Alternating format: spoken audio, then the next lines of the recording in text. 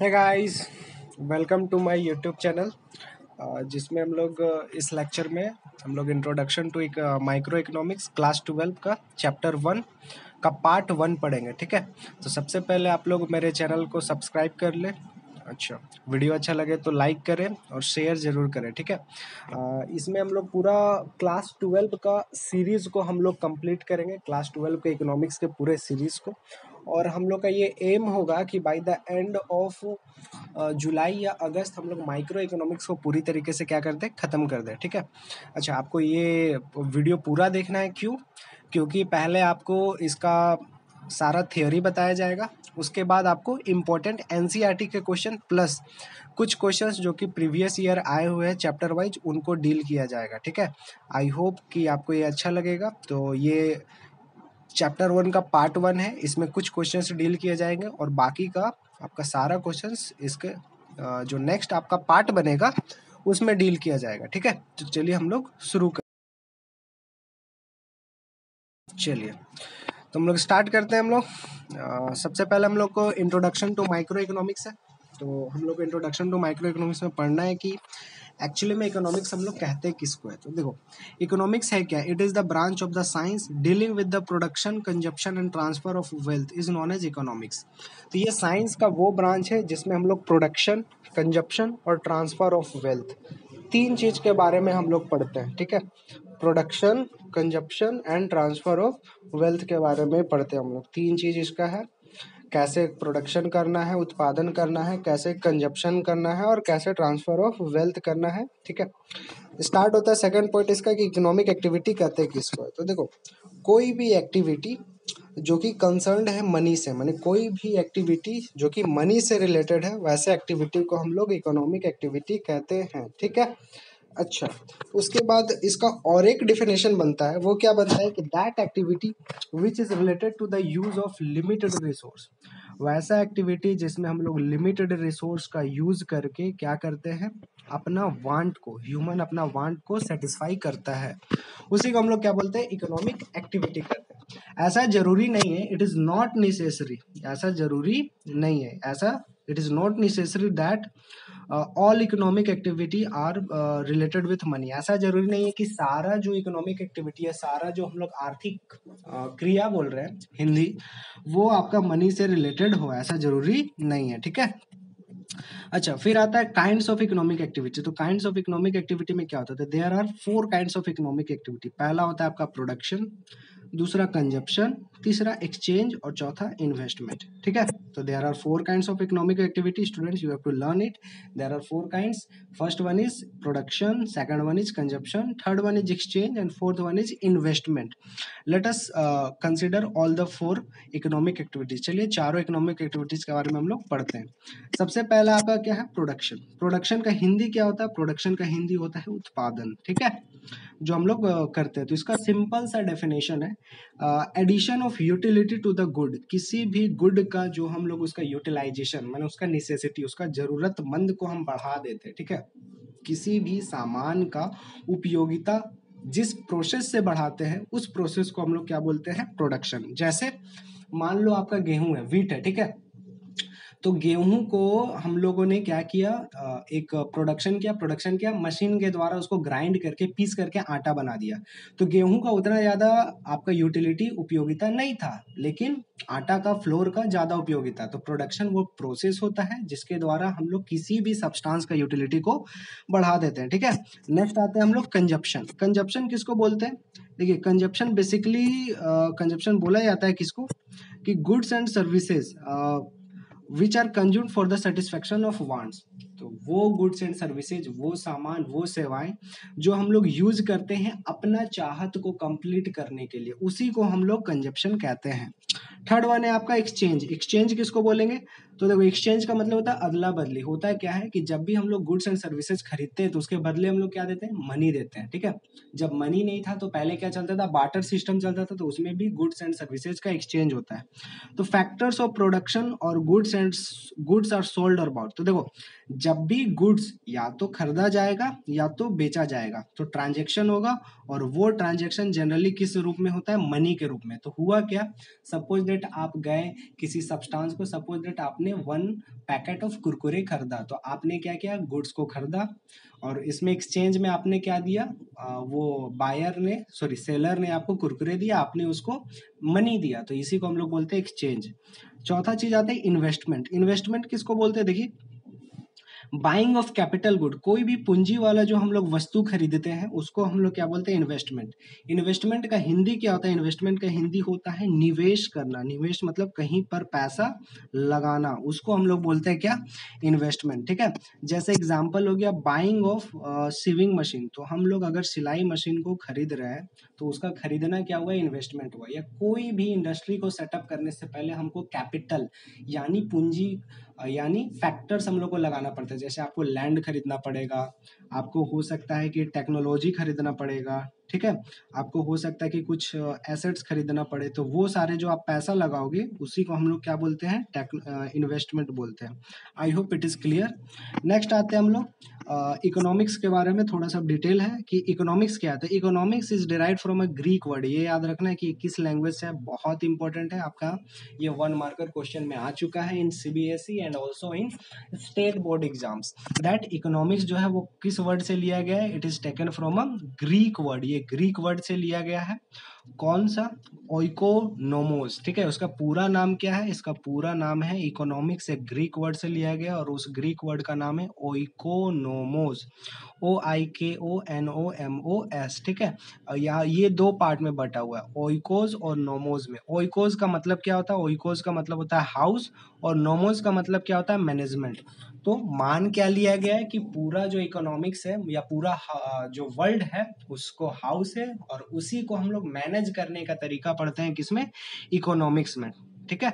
Next आते हैं Ragnar फ्रिस्ट Ragnar फ्रिस्ट का क्यों यूज़ होता है? चलिए देखते हैं रैगनर फ्रिस्ट का यहाँ पर क्या यूज़ है। तो रैगनर फ्रिस्ट क्या थे? ये एक नॉर्वे के इकोनॉमिस्ट हैं। इन्होंने क्या किया? इकोनॉमिक्स को दो पार्ट में बांटा, दो कैटेगरी में बांटा, एक माइक्रो इकोनॉमिक्स में और एक मैक्रो इकोनॉमिक्स में। Therefore we can say that Ragnar Frisch was the first economist who has divided economics into two branches. First one is microeconomics and second one is macroeconomics, ठीक है? चलिए next आते हैं economics क्या होता है? तो इकोनॉमिक्स में हम लोग क्या बोलते हैं? It studies the economic activities at individual unit मतलब इसमें सारे वो आर्थिक क्रिया के बारे में पढ़ते हैं जो कि एक इंडिविजुअल मतलब एक बंदा से रिलेटेड है, एक पर्सन से रिलेटेड है. फॉर एग्ज़ाम्पल इंडिविजुअल का क्या हो जाएगा? इंडिविजुअल का डिमांड इंडिविजुअल का कंजप्शन इंडिविजुअल का इनकम सारा चीज़ इंडिविजुअल का। मतलब ऑल दॉट इकोनॉमिक एक्टिविटी जो किससे रिलेटेड है? आपका इंडिविजुअल से, एक आदमी से रिलेटेड है। वो सारे इकोनॉमिक एक्टिविटी को हम लोग किसमें पढ़ेंगे? माइक्रो इकोनॉमिक्स में पढ़ेंगे, ठीक है? चलिए माइक्रो का मतलब क्या होता है? तो माइक्रो का मतलब होता है स्मॉल माइक्रो का मतलब क्या होता है स्मॉल एक चीज़ यहाँ पर छूट गया है, आप मेंशन कर लेंगे कि माइक्रो भी जो है एक ग्रीक वर्ड माइक्रोज से लिया गया M I K R O H which means small जिसका मतलब क्या होता है? स्मॉल होता है. नेक्स्ट आते हैं हम लोग मैक्रो इकोनॉमिक्स में. तो मैक्रो इकोनॉमिक्स में किसके बारे में स्टडी करते हैं? It studies the economic activity at the entire level बहुत बड़े पैमाने में हम लोग इकोनॉमिक एक्टिविटीज़ के बारे में इसमें हम लोग पढ़ते हैं, ठीक है? अब ये क्या है? चलिए देखते हैं हम लोग. It studies the economic activity at the entire level मतलब पूरे इंटायर uh, लेवल बहुत बड़े पैमाने में जब हम लोग इकोनॉमिक एक्टिविटी का पढ़ाई करते हैं that branch of economics is known as macro economics इसमें क्या क्या पढ़ेंगे? देखिए उसमें हम लोग इंडिविजुअल डिमांड के बारे में पढ़े थे इंडिविजुअल इनकम के बारे में सब एक आदमी। इसमें पूरा देश पूरा कंट्री के बारे में पढ़ेंगे जैसे national income total employment total production तो ये सारे चीज़ आपका क्या है? ये सारे चीज़ आ जाएँगे आपके मैक्रो इकोनॉमिक्स में। नेक्स्ट हम लोग फर्दर और चलते हैं। तो हुआ क्या है? ये सेक्शन थोड़ा बहुत ज़्यादा इंपॉर्टेंट है चैप्टर वन से, क्योंकि इससे क्या होता है ना वन मार्कर क्वेश्चंस बहुत ज़्यादा पूछे जाते हैं C B S E as well as in state other boards इसमें क्या है कि आपको अलग अलग इकोनॉमिस्ट ने मेनली चार इकोनॉमिस्ट होगा, पहला आपका एडम स्मिथ दूसरा मार्शल तीसरा रॉबिन्स और चौथा सैम्यूलसन ये चारों अलग अलग इकोनॉमिस्ट है। इन्होंने इकोनॉमिक्स का डेफिनेशन अलग अलग तरीके से दिया हुआ है, ठीक है? एडम स्मिथ ने क्या बोला? एडम स्मिथ ने बोला कि economics is a science of wealth इसमें हम लोग किसके बारे में पढ़ते हैं जी? इसमें हम लोग वेल्थ के बारे में पढ़ते हैं। W E A L T H इसमें हम लोग किसके बारे में पढ़ते हैं? वेल्थ के बारे में पढ़ते हैं। अच्छा मार्शल ने क्या बोला? मार्शल ने बोला कि economics is a science of welfare welfare का मतलब क्या होता? है कल्याण। कल्याण मतलब सामाजिक भलाई। तो देखिए इसमें हो क्या रहा है? एडम स्मिथ ने बोला कि इकोनॉमिक्स में हम लोग किसके बारे में पढ़ते हैं? तो इकोनॉमिक्स में हम लोग पढ़ते हैं वेल्थ के बारे में मतलब हम लोग धन के बारे में पढ़ते हैं। अच्छा और एक चीज़ याद रखना है आपको कि जो एडम स्मिथ है, यही एडम स्मिथ को हम लोग क्या बोलते हैं? फादर ऑफ़ इकोनॉमिक्स इन्हीं को इकोनॉमिक्स का पितामह कहा जाता है। बहुत इंपॉर्टेंट है, आपको याद रखना है। फादर ऑफ़ इकोनॉमिक्स कौन है? एडम स्मिथ है, ठीक है? और एडम स्मिथ ने ही ये डिफिनेशन आपको दिया हुआ है कि economics is a science of wealth इसमें हम लोग धन के बारे में मनी के बारे में पढ़ते हैं। सेकेंड है आपका मार्शल मार्शल का डेफिनेशन क्या है? Economics is a science of welfare Marshall ने डिफाइन किया कि इकोनॉमिक्स में हम लोग कल्याण, सामाजिक कल्याण के बारे में पढ़ता, पढ़ा करते हैं। नेक्स्ट वन है रॉबिन्स रॉबिन्स ने क्या डेफिनेशन दिया? कि economics is a science of scarcity scarcity का मतलब होता है कमी। क्या होता है इसका मतलब? कमी ठीक है? तो रॉबिन्स ने डेफिनेशन दिया कि इकोनॉमिक्स uh, में हम लोग स्कैरसिटी के बारे में पढ़ते हैं। स्कैरसिटी यानी कमी के बारे में पढ़ते हैं। और प्रॉब्लम रिलेटेड टू चॉइस तो देखो अगर आपके पास रिसोर्स का कमी है रिसोर्स मनी पैसा का कमी है तो आपको क्या होगा? चॉइस का प्रॉब्लम होगा, क्योंकि आपके पास पैसा सीमित है।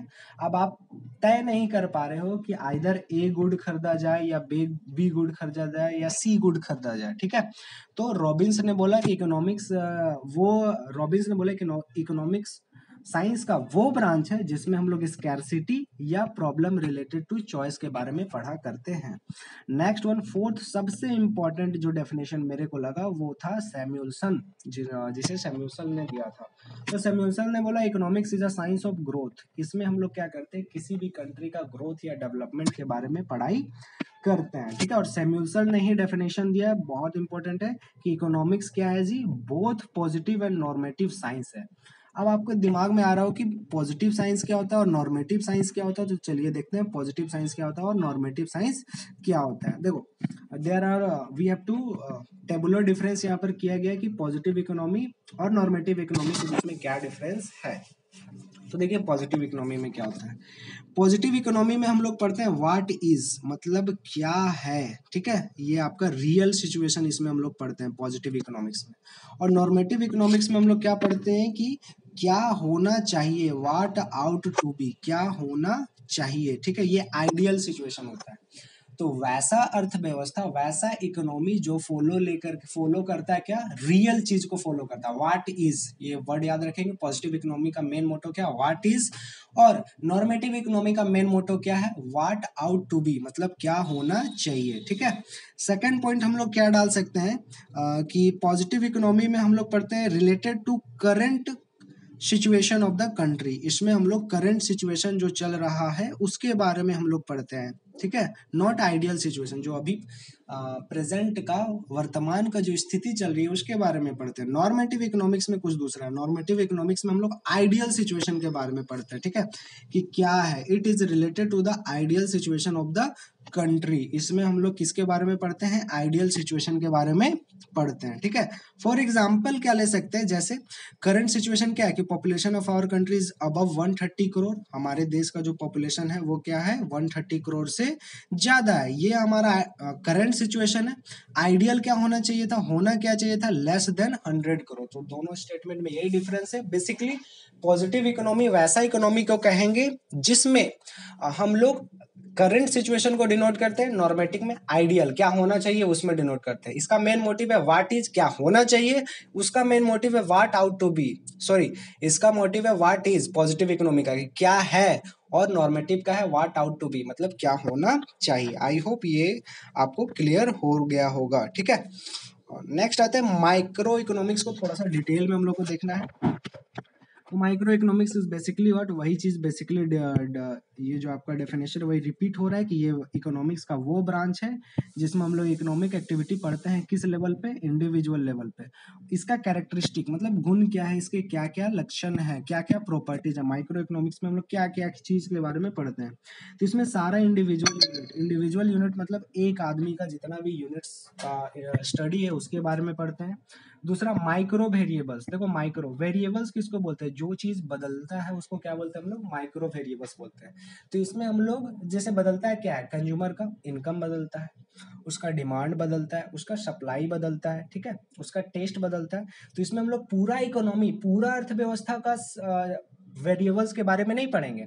इसमें हम लोग सिर्फ़ इंडिविजुअल वेरिएबल्स के बारे में पढ़ेंगे, जैसे इंडिविजुअल का डिमांड इंडिविजुअल का इनकम ये सब के बारे में पढ़ेंगे।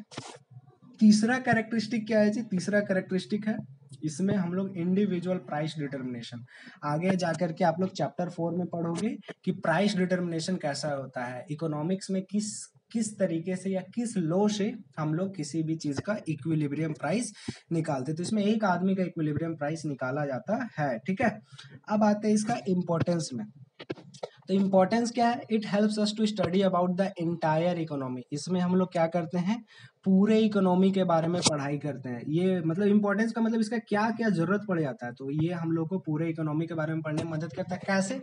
अगर आपको इंडिविजुअल का डाटा पता है तो ज़ाहिर से बात है कि आप पूरे कंट्री का डाटा निकाल सकते हो एवरेज ले करके दूसरा पॉइंट क्या है? Helpful in determining economic problem ये क्या करता है? इकोनॉमिक प्रॉब्लम को डिटरमाइन करने में हमारा मदद करता है। तभी तो मान लो हमको इंडिविजुअल में पता चल गया कि इनकम कम है तो पता चल गया ना कि इकोनॉमिक प्रॉब्लम का मेन कारण क्या है जी? लो इनकम तीसरा चीज़, ये गवर्नमेंट को हेल्प करता है डिफरेंट डिफरेंट पॉलिसीज़ बनाने में। चौथा चीज़ it also helps in the development of international trade international trade को बढ़ाने में मदद करता है। पांचवा चीज़ क्या है जी? It is helpful in full utilization of resource देखिए फुल यूटिलाइजेशन ऑफ़ रिसोर्स का मतलब क्या होता है? हमारे पास रिसोर्स किसको बोलते हैं? कोई भी चीज़ जिसका यूज़ करके हम अपना सेटिस्फेक्शन कर सकते हैं, हम अपने नीड्स को सेटिस्फाई कर सकते हैं, उसी को हम लोग क्या बोलते हैं? उसको हम लोग रिसोर्स बोलते हैं। तो रिसोर्स का फुल यूटिलाइजेशन मैंने पूरा यूज़ करना हमें सिखाता है कौन? माइक्रो इकोनॉमिक्स अब इसका कुछ लिमिटेशन भी होगा तो देखते हैं लिमिटेशन क्या है। इस इसमें क्या होता है? Study of a fraction but not of whole इसमें हम लोग एक छोटा सा पार्ट के बारे में पढ़ते पूरे इकोनॉमिक्स के बारे में नहीं पढ़ते छोटा सा इकोनॉमिक्स का पार्ट के बारे में पढ़ते पूरे के बारे में नहीं पढ़ते यही इसका पहला लिमिटेशन है। दूसरा इन एडिक्वेट एनालिसिस जितना भी माइक्रो इकोनॉमिक्स में एनालिसिस होता है, जो भी डाटा निकलता है, वो इन एडिक्वेट होता है। मतलब ना काफ़ी। उसमें बहुत ज़्यादा डाटा नहीं लिया जाता है। और जो कि गलत है। क्यों? आप सोचो आ, मान के इसमें क्या चला जाता है कि आप सिर्फ़ एक आदमी का यूज़ कर लिया आ, एक आदमी का मान लो एक आदमी का इनकम निकाला एक आदमी का इनकम निकाला पचास हज़ार करोड़ और सॉरी पचास हज़ार। तो क्या माइक्रो इकोनॉमिक्स क्या करता है ना कि मान लेता है कि सारा आदमी का ही इनकम कितना होगा? फिफ्टी थाउज़ेंड होगा लेकिन ये सही नहीं है। तो इसका जो एनालिसिस है वो इनएडिक्वेट होता है। बेस्ड ऑन अनरियलिस्टिक अजम्पन ये भी बहुत इंपॉर्टेंट है। इसका जितने भी अजम्पन है माइक्रो इकोनॉमिक्स में मान्यता है वो एकदम अनरियल है, जो कि डेली लाइफ में पॉसिबल नहीं है। कैसे बोल सकते हैं? जैसे मान लीजिए आपका लॉ ऑफ़ डिमांड जो आप लोग चैप्टर टू में पढ़ोगे चैप्टर फोर में पढ़ोगे, उसमें क्या बताया गया कि keeping the income of the consumer constant क्या ऐसा कभी हो सकता है कि कंज्यूमर का इनकम कांस्टेंट हो? तो ये जो एजम्पन है, वो अनरियलिस्टिक है। ठीक है? तो हम लोग, चूँकि ये वीडियो थोड़ा बड़ा हो गया तो यहीं पर हम लोग खत्म करते हैं। ये आपका पार्ट वन था। क्लास ट्वेल्व का आपको कंप्लीट इकोनॉमिक्स का लेक्चर दिया जाएगा विथ पीडीएफ और लास्ट में जब भी चैप्टर खत्म होने वाला रहेगा, आपको सीबीएसई e के important previous year questions chapter wise plus NCERT के जो क्वेश्चंस है, वो डील किए जाएँगे along with important MCQs and very short answer questions ठीक है? अगर आपको ये वीडियो अच्छा लगा हो तो please like, share and subscribe. ठीक है? Thank you.